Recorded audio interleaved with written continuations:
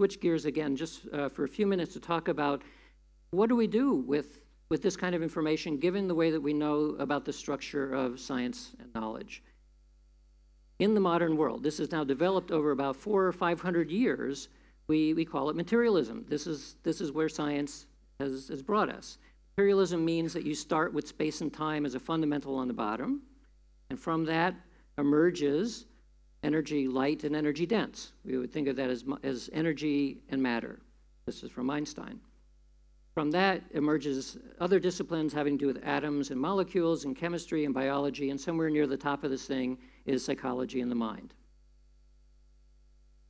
But there's an essential mystery in all of this. This, by the way, is reductionism. The, the arrow of causation always goes up here because everything emerges up, emerges up, emerges up. But the mystery in this kind of a structure is well, all these psychic phenomena suggest that the mind and space and time are linked in some meaningful way.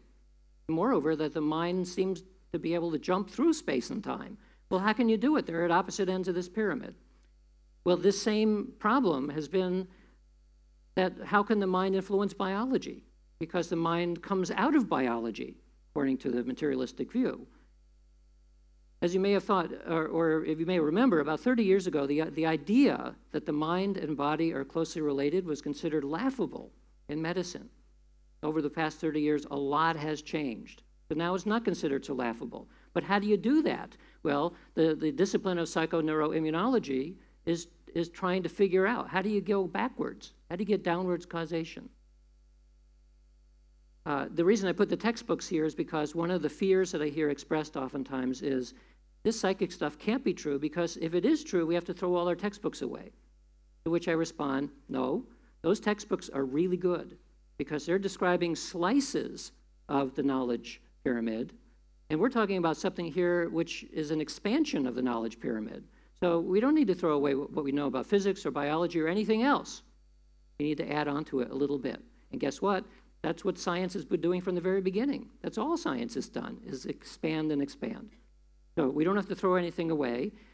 Uh, and materialism has both good, bad, and ugly in it. The good part of materialism is that it works.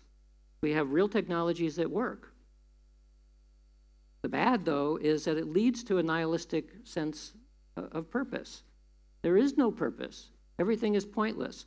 So these are atheists, and it says here atheists shoving nothing in your face. And the ugly part is this that it denies basic human experience. It denies psychic and mystical experience, which have been reported throughout history. They're, they're real things. It also reinforces the sense that people and objects are separate. And we know not only from quantum mechanics, but these kinds of phenomena suggest that some aspect of us are not separate. And that separateness is what gives rise to these kinds of abuses. And as we, as Patch Adams said the other day, this is destroying the world. So a case can be made that our current scientific knowledge, which is driving a lot of the engine of, of, of the world today, has a mistake in it, and the mistake is destroying us. So how do we fix it? So the way I'm, I'm working on fixing it, uh, and from a theoretical perspective, is basically to, to look at the, the ancient wisdom which says that everything actually is sitting on awareness. I'm using awareness rather than consciousness because it's easier to talk about that. So, what does that mean? Well, if everything was sitting on awareness, then out of awareness arises space and time. Out of space and time arises and rises and so on.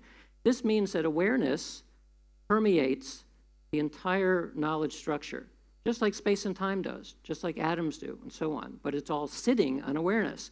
If that is true, if the hypothesis is true, then there's just one mind. Every religious uh, fundamental and, and uh, most mystical traditions basically say this there is one mind at bottom. In addition, awareness would then transcend space time, it's prior to space time. Awareness is prior, primary over the physical world. These would be consequences if this is correct. But how do we get from awareness into space and time? Well, it turns out that what we're trying to do is be Alice in Wonderland and pull apart the curtain of space time and look at the matrix underneath. That's essentially what, what the job is. How do you do it? it? So I'm going to read something here. How does the universe come into being out of nothingness? Out of nothingness does not mean out of the vacuum, The vacuum of physics is loaded with geometrical structure. Nothingness means neither structure nor law nor plan. For producing everything out of nothing, one principle is enough. Draw a line between the observer, participator, and the system under view. That demarcation is the clue to the central principle in constructing out of nothing everything. So this sounds like something a mystic might have said, but in fact, it's something that a very famous physicist said, and it's now a branch of physics called information physics. This was said by John Wheeler, a, a, Princeton University physicist who, among other things, was the mentor of Richard Feynman, the Nobel laureate, and a bunch of other well-known physicists. So the, what uh, Wheeler was talking about was what he called the participatory universe. It is as though the universe comes into being and manifests in the way that it actually does as a result of the universe looking at itself.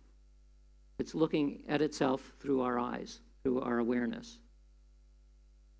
It also turns out that within mathematical logic, that you can build up the entire structure of mathematics out of one event, which is simply making a distinction. You make the distinction, and I'm not going to go through this all, but the whole probability of calculus, uh, the whole logical probabilities, it all falls out of that. So this idea that awareness, somehow looking at itself, can create the physical world has some merit to it. Digitalphilosophy.org if you want to read much more about these kinds of ideas.